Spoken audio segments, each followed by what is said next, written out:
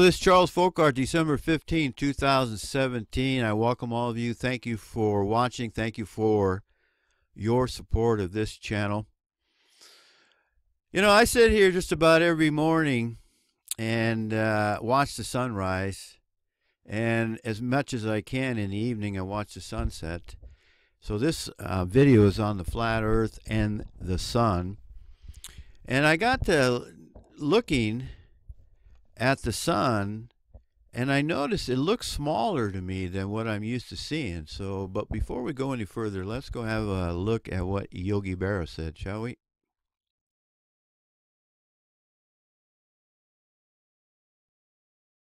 So I've asked in other videos, um, does the sun, I'm sorry, does the moon look 238,000 miles away to you? And the moon's been out. Uh, I can see the moon here. It's very clear, but this isn't about the moon. But I want to tell you the moon doesn't look 238,000 miles away to me. And the sun doesn't look 93 million miles away to me. And uh, what got me thinking about this, uh, the whole thing about the sun, is that I can actually see the sun here as compared to when I lived in Kalispell during the winter when you could hardly ever see the sun. And you know, we have a tendency not to really believe what we see. You know that uh, that old saying, "Seeing is believing." Well, the powers that be, they want us to not believe what we see. They want us to believe what they want us to believe. They want us to believe the sun's 93 million miles away, and we're going to get into that here in a, in a few minutes. But I, I wanted to sh show you something on the map here. So I got this map at the thrift store for 50 cents. It's an atlas, actually, with all the 50 states. It's pretty old, but it'll do for now. And uh, I want to show you that I'm right down here at this corner of Nevada. I'm right here somewhere, right there. And so I took the map, and here's the arrow pointing to the north. And I took my compass, and I laid the map down on the on the on the table here and I oriented the map so that I could see, kind of get an idea of where the the sun is in relation to the map, and it is to the east. And so, you know, it is making a circle around the North Pole, as far as I know. I can't, I'm not up at the North Pole, but the sun is not 93 million miles away. Number two, the earth is not what's moving, it's the sun that's moving, contrary to what we've been told all our life. And also, a couple things I want to bring up here is that the sun doesn't move any quicker as it moves away from the North Pole and going out to the outer edge of the Earth, the Antarctica. And I bring that up because next week, December 21st, is the winter solstice. And that's when the sun gets all the way to its extremity away from the North Pole, the magnetic north. And I believe the sun and the moon are moving uh, based on magnetism, electromagnetism. That's another video later. But I wanted to bring up a number of things here, and I hope I can um, express my thoughts in a way that you will understand them. Um, the first thing I want to talk about is the sun looks smaller when there's no moisture in the air. I'll show you some pictures here in a minute where I was on the beach and I took some photos. And that's what got me thinking about this. The sun here in Nevada, where the air's dry, looks smaller to me. And I remember on the beach in uh, Asia where I was, the Philippines, and in Anong Beach. Uh, Philippines was the island of uh, Palawan, and Ong Nong Beach is on the west side of Thailand. And I took pictures, and I will uh, put these on the screen here in a minute. I started looking into that and I realized that when you take a pencil, I don't know if this is going to work because I haven't tried it yet on the picture. When you when you take a, a picture of a pencil, uh, it looks you know like a picture of a pencil. But then when you put it in the water, it it looks bigger, right? That doesn't that look bigger to you? I'm trying to see that. There's a good shot of it. See, the upper half is smaller and the bigger, the lower half is bigger. So when something is in water, it looks bigger. Water tends to magnify objects. And when I thought about that, I realized, well, that's why that's why the sun looks so much bigger when it was out over the ocean because there's moisture in the air and we're looking through the water, we're looking through the moisture, we're looking through the humidity at the sun over the ocean and the, and the sunsets in uh, Asia, I got to tell you, they're just absolutely magnificent. And when I lived on the west coast of the United States, we'd go out to the beach and watch the sunset from uh, Patrick's Point State Park, right there with the redwoods as our background. Just God's Yahweh's creation is just amazing, isn't it? So I wanted to bring up um, a couple things, but first let's go have a look at the pictures of the ocean, shall we? Okay, the first one here is Onong Beach on the west coast of Thailand. And uh, it doesn't really show it in the picture, but I remember that sun is being just huge in the sky, and this is uh, this picture really doesn't show how beautiful it is there. The water was calm. It was just a beautiful evening, and I had my camera out, and I'm glad I took these uh, photos. Here's another photo of uh, same coast, uh, west coast of Thailand, on a on a different beach.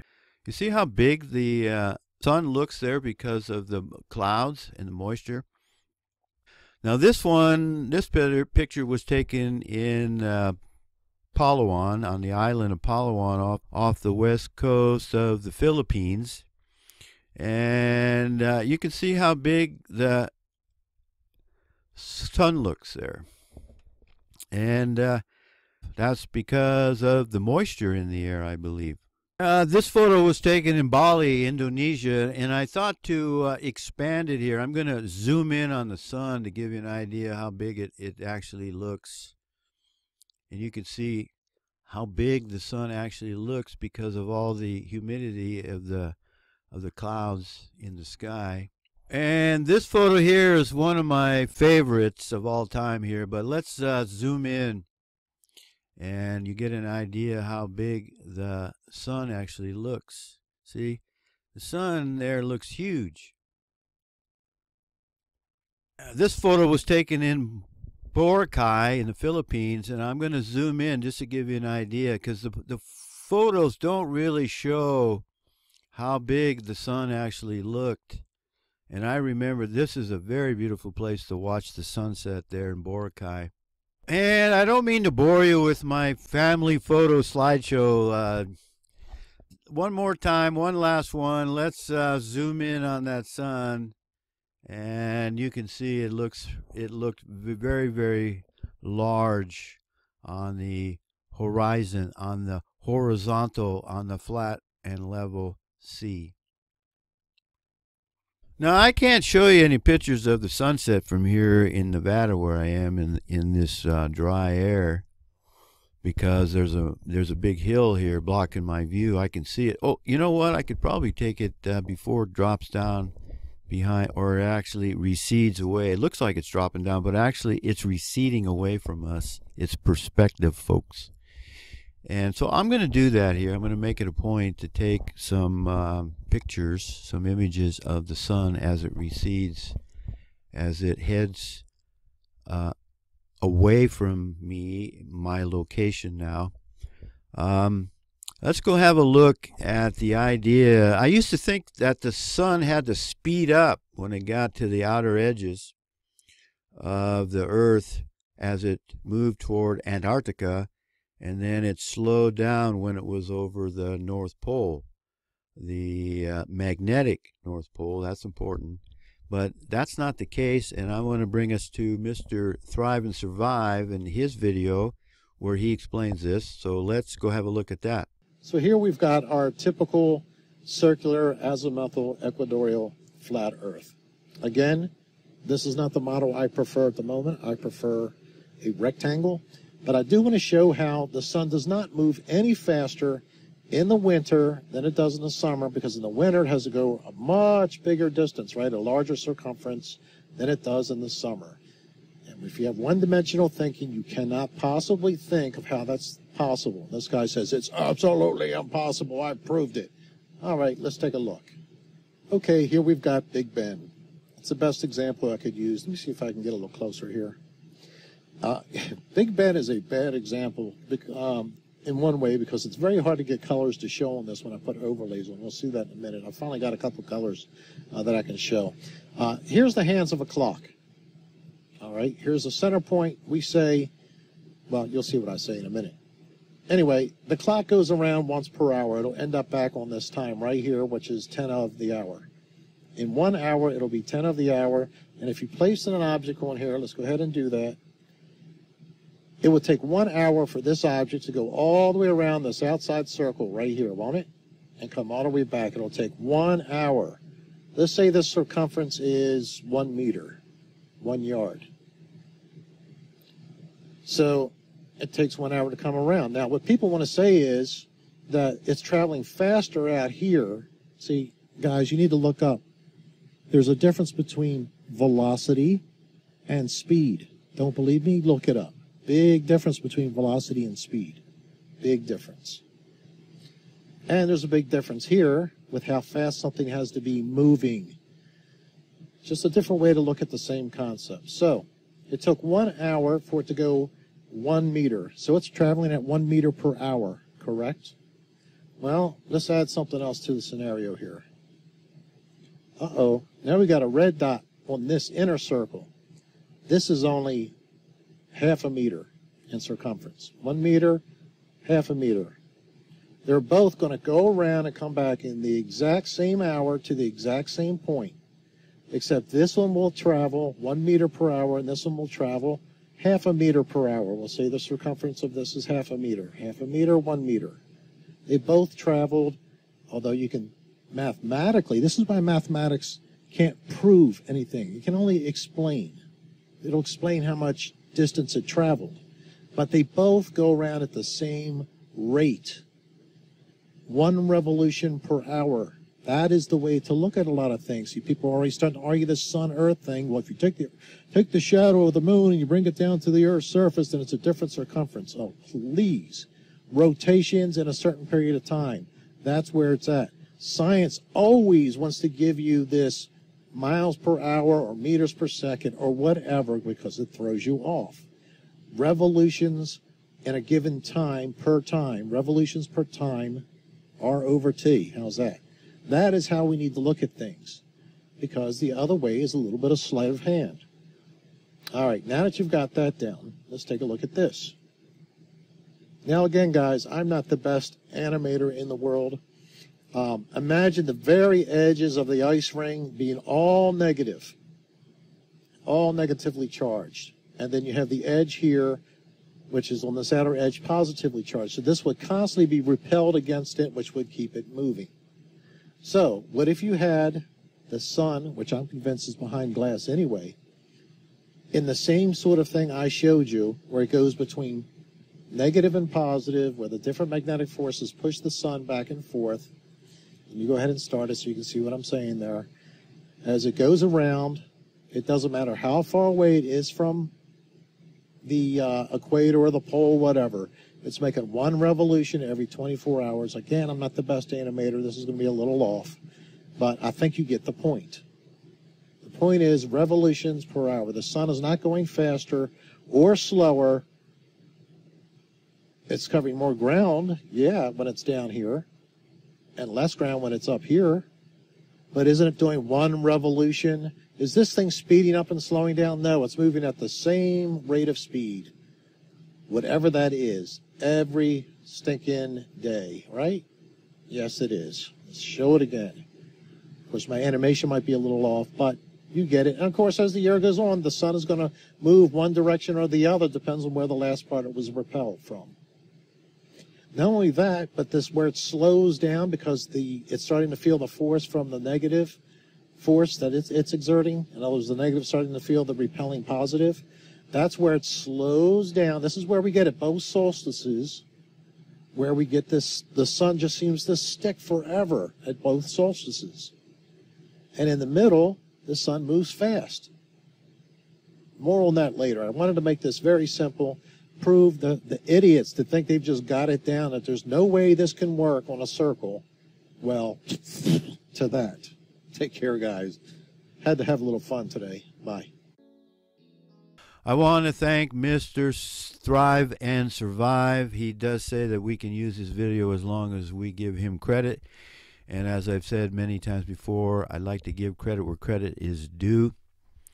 We learn a lot from other people, and I'm hoping that perhaps uh, what I share here will also educate uh, you or give you a little bit more information on the flat earth. Let's go have a look at scripture about the sun, shall we? We're in uh, the book of beginnings in Genesis chapter 1 verse 14. Elohim said, Let there be lights in the firmament of the heaven to divide the day from the night, and let them be for signs and for seasons and for days and years. 15 and let them be for lights in the firmament of the heaven to give light upon the earth and it was so and god made two great lights the greater light to rule the day and the lesser light to rule the night he made the stars also and god set them in the firmament of the heaven to give light upon the earth and to rule over the day and over the night, and to divide the light from the darkness. And God saw that it was good. And the evening and the morning were the fourth day. Now, this is a little bit of an aside, but God made two great lights the greater light to rule the day, and the lesser light to rule the night. He didn't make one great light and a reflector. So there's some of you out there that take a picture of the the moon and because the light only shows the light of the sun you say is reflecting off of the moon it proves the moon is round or a sphere. And no because God made two great lights not one and a reflector. But I wanted to take a look at uh, some of these uh, scripture verses in a little more in depth. So let's have a look at Genesis chapter 1, verse 15, shall we? I want to draw your attention to this word here, upon, and let them be for lights in the firmament of the heaven to give light upon the earth. And it was so. Uh, you know, God's making this all out of nothing. He's not taking a material, He creates it, the material and the object at, all at the same time. And it's so amazing. And He said, Let them be for lights, and it was so. That's just uh, simply amazing to me. That's the God that uh, we serve. Anyway, let's look at uh, um, a little more in depth, in uh, detail, this Hebrew H5921, shall we? So H5921, I'm not going to read all that. I'm just going to bring us here to what the word actually means. Above, over, upon, or against, yet always in this last relation with a downward aspect. And that's the point I want to make here the sun, the um, spinning spirits, they want us to believe the sun is beside the earth. And I don't have a connection to the internet, so I can't go get one of those pictures to show you. But they always let me use uh, an object, okay? Because that's the best I can do right now. Hold on. Okay, I've got a radish here that's going to be the earth, you know, and these are awesome. These taste so good. Look how big that little puppy is, huh? Wow. Anyway, it's too early in the morning to, to eat a radish, but later. And then uh, I'm going to use an onion. And they always show, actually, I should use a pear because uh, the uh, expert Neil deGrasse Tyson tells us that the earth is actually pear shaped. Remember that? What an idiot, huh? Anyway, we got the we got the radish and we got the sun here going to be played by an onion. And it, always shows how the sun, er, I mean, I'm sorry, the earth is tilted and the sun is beside the earth. And they're going around the sun the earth is going around the sun, and that's how we get the seasons and all that malarkey. But uh, actually, the sun, hold on, I got to get a smaller object because the sun's not as big as we've been told it is, and it's not 93 million miles away. Hold on. Now, now you got to understand, I'm doing this off the cuff here. I just um, didn't think about this at all, and maybe you're going to hold that against me, but you know, I think the sun is more like a battery and it's grabbing its energy from a dimension outside of the world that we experience. And this is uh, represents the North Pole. And uh, you know, I know there's there's not a pencil sticking up out of the North Pole, but actually, the battery, the the, and I charge my batteries with the sun and I keep my laptop and my phone and a little little small charge on my batteries, the house batteries here. Um, so there's energy coming out of the sun, and it is very small in relation to the earth. It's not the other way around like they want us to believe. So the sun is going around the earth, as you saw there on the video with Mr. Thrive and Survive. And now, if I had a third hand, I'd hold the moon up there too. But uh, God hasn't given me three hands, so you're going to have to uh, imagine that on your own. Okay, the point here I want to make is that the sun, it says in Scripture, and I go by Scripture. If it if it doesn't agree with Scripture, there's a problem uh, because Scripture is never wrong. The inspired Word of God, the Hebrew and the Greek, is never wrong. Above over, upon, or against, yet always in this last relation with a downward aspect. The sun and the moon are above us, not. Where did I put the earth? Hold on. It's not beside us. The sun is not beside or next to the earth. It's above the sun is above the earth.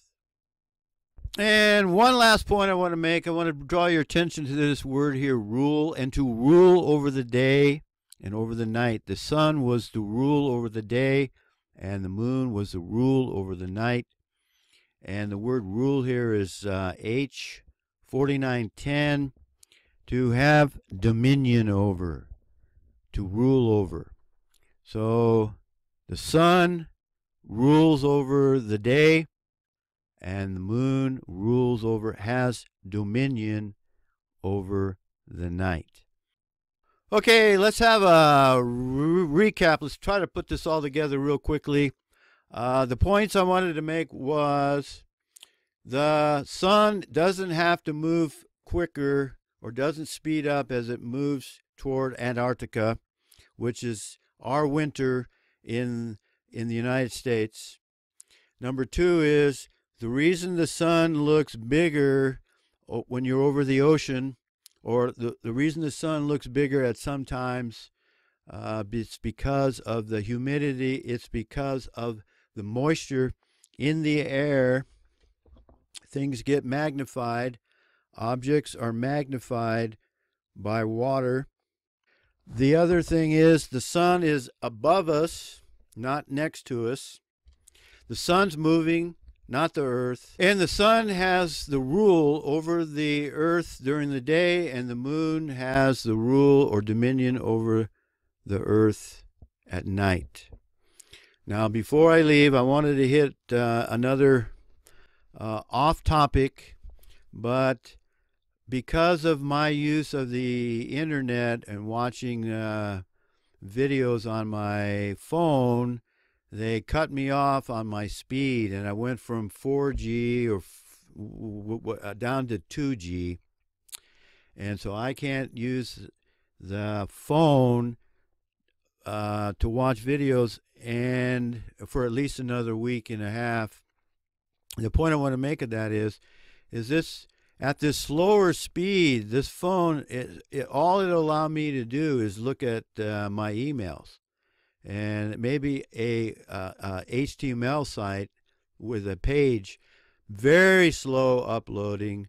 Very, uh, the point is, this uh, net neutrality vote they had yesterday, if this goes through and they do what I think they're going to do, they're going to make it so expensive for us to be able to use the internet that uh, it's going to really hurt folks because it's it's so slow. It's almost not even. I don't even use it anymore except for email because uh, it takes forever to load up.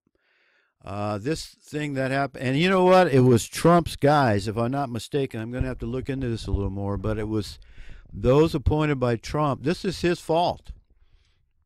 Uh, there's quite a few people on uh, on the net saying this is Trump's fault, and and remember what I said. Trump's going to be worse than Obongo. Trump is a Jew, and Trump is doing what the Jews want him to do because he's a Jew, and this is not going to be good, folks. Um, but you know what? I'm not worried about it.